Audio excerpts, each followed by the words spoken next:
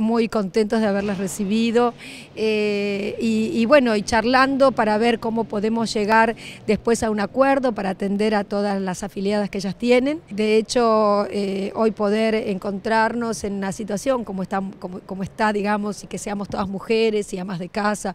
que, hacen el esfuerzo a día, todos los días de mantener, de sostener su casa, sus trabajos en un momento difícil, poder eh,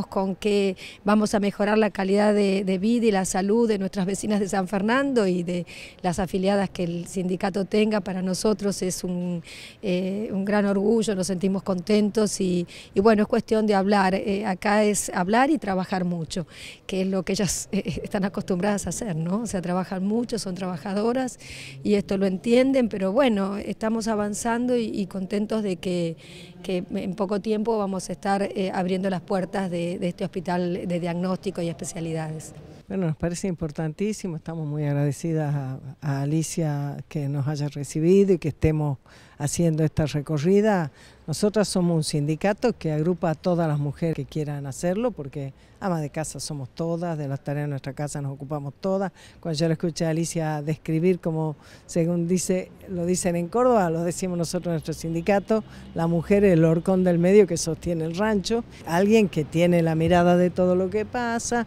que multiplica los recursos, que los administra adecuadamente, que cuida a los chicos, que cuida a los grandes, que cuida a los enfermos, que además trae recursos a la casa. Así que la verdad es que me parece espectacular, Alicia, y vas a contar con nosotros y nosotros ya contamos con vos. La verdad que esto es un proyecto impresionante, que no, no es casual,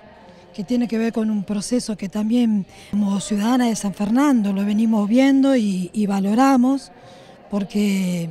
no hay, la única verdad es la realidad. Somos peronistas y que lo que vemos es una gestión con justicia social y con equidad, y esto le da derecho al San Fernandino de un nivel que la verdad que es, es un orgullo ver esto.